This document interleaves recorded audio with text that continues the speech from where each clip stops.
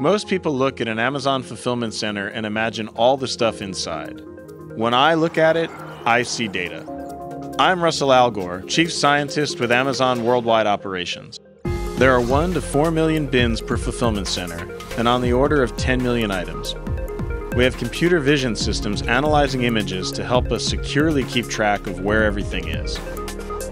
Since our fulfillment centers are set up largely on a Manhattan style grid, the paths that the pods can follow is relatively structured and organized.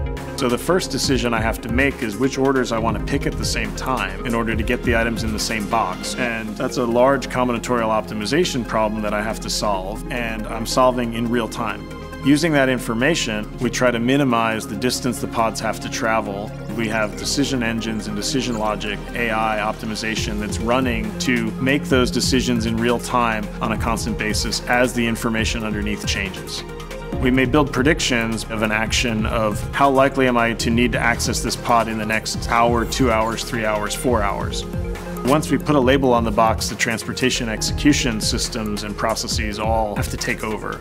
So we'll use machine learning to build information about how long it takes to travel from point A to point B. To make the magic happen and get prime shipping in one day, we need to better use all of that information, which machine learning and optimization at scale enables us to do.